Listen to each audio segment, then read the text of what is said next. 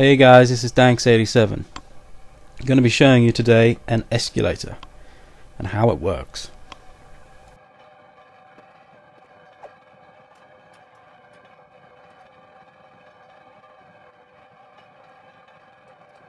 Okay, so the things you're going to need is two tag sensors, three followers, three tags, a selector, a physics tweaker, a gyroscope, and an emitter. So first up we're going to be making the shape of the escalator. I always use the small grid as it helps keep it even. Okay, so we want to make a big triangle. We want to extend it slightly with a square to make it look like an escalator.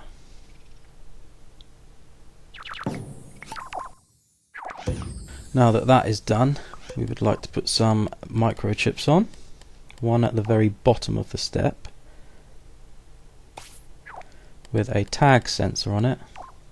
And we're going to make this one orange and escalator tag name. And we need to copy this and put one at the top and one at the end of the top and we're going to need to change the tag color so the very one next one and one after that. These are what our followers will be following. Okay now we need to make our steps. I generally go with a metal material but you can go with whatever you want. We need to make that fairly small and now we need a microchip on top of it Okay, next what we need is the selector. We only need three ports on the selector. And then we need a tag sensor. We need to make the tag radius down to 0.1 and layer range infinite. Now choose the same tag as the first tag and put that into the second port of the selector. Copy the tag sensor and change it to the next color and into the last port. Now we want the follower and this follower is going to follow around 2 100% infinite range all the layers and I want it to follow the first orange escalator tag. And that's for the first point. Next one we want it to follow the next point. And hook it up and the next one for the very last point. And now we need the gyroscope. This needs to be the strongest possible. So put the number right the way to the top and the strength right to 100%. And lastly, we need the physics tweaker.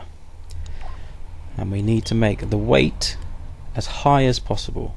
This stops it from being able to be pushed by you standing on it. And that's our step done. We just need to copy that into our goodies bag so that we can emit it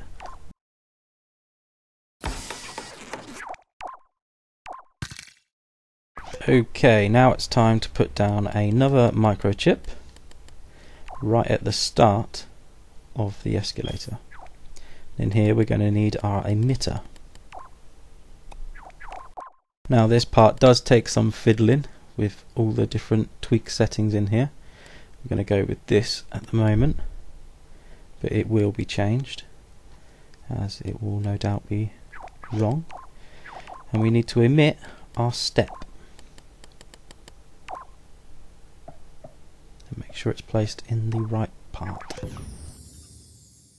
Okay, first test. They're very spaced apart and they are not not destroying at the time we want them to. So let's reduce the lifetime and reduce the frequency. And now we have a much closer, it looks almost perfect. Oh, I've done it perfect the, the second time, that's brilliant.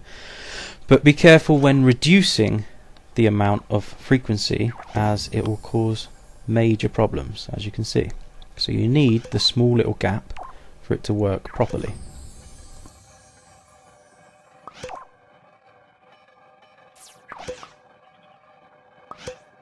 You will also need a platform above the emitter otherwise as soon as your player gets to that point he will stop the emitter from working and you will have no steps.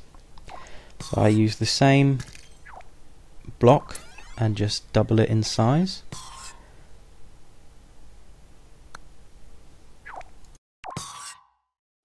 So we just stick these to the back of the escalator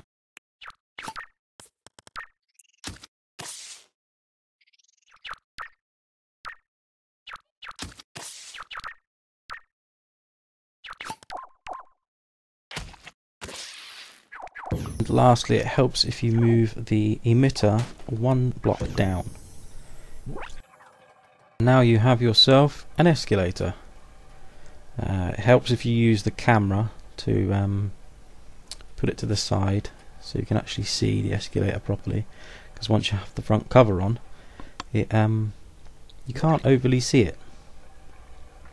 Um, stay tuned for more tutorials. Thanks guys.